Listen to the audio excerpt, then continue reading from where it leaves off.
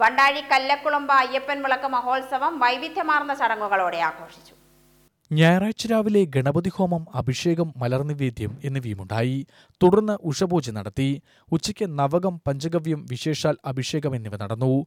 അലങ്കാരപൂജ ദീപാരാധന എന്നിവയെ തുടർന്ന് അന്നദാനമുണ്ടായി. വൈകിട്ട് പാലക്കൊമ്പെഴുന്നള്ളത്ത് നടന്നു.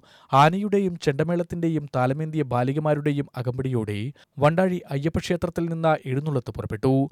കല്ലംകുളമ്പ് ക്ഷേത്രസന്നിധിയിൽ സമാപിച്ചു.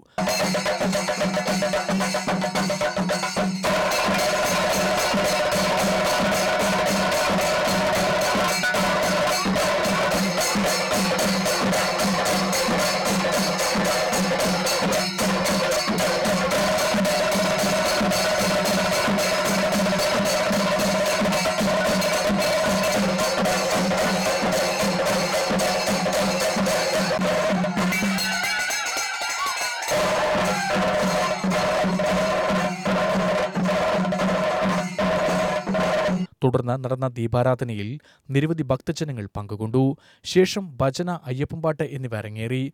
പുലർച്ചെ പാൽക്കിണ്ടി എഴുന്നള്ളത്തുമുണ്ടായി.